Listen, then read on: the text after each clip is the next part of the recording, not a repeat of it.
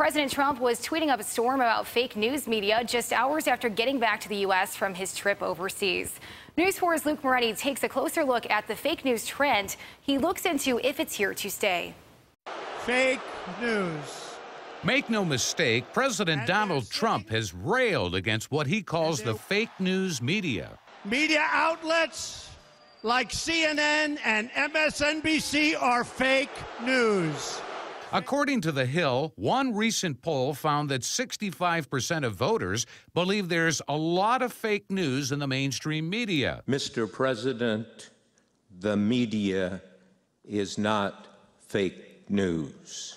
Veteran journalists David Shribman and Cindy Skrzycki recently lectured at Canisius College on the subject.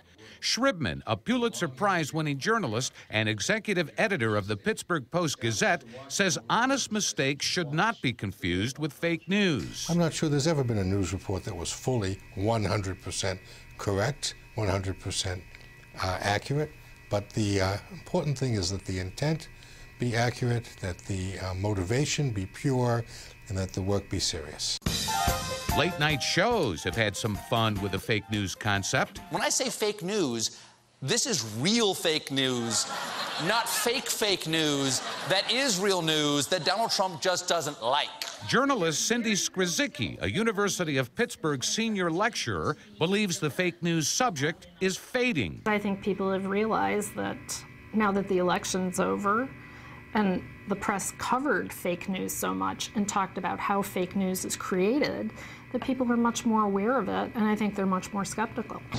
Good evening. I don't think we'll ever get back to the point we were at when I was growing up, when you were growing up, where Walter Cronkite was the most trusted man in America. I mean, who has that level of trust anymore. Canisius College political scientist Kevin Hardwick, a Republican Erie County legislator, thinks the fake news concept is not showing any signs of letting up. I think as long as Donald Trump is president, he's going to be using that tag fake news on anything that he might not agree with. And and the reason he can get away with that is because it resonates with people because people have seen evidence of it over time. You're not even real media, you see.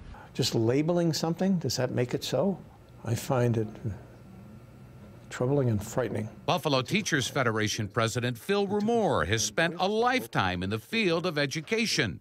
He says the debate centering around fake news could serve as a springboard for more critical thinking in the classroom. I think this is something that we should start talking about in all school districts with all of our students to say, look, let's step back and take a look at this. What's going on here? Well, Kevin Hardwick tells me that whether the president is right or wrong when it comes to labeling major news organizations as fake news, he believes it not only hurts journalism, he says it hurts everybody.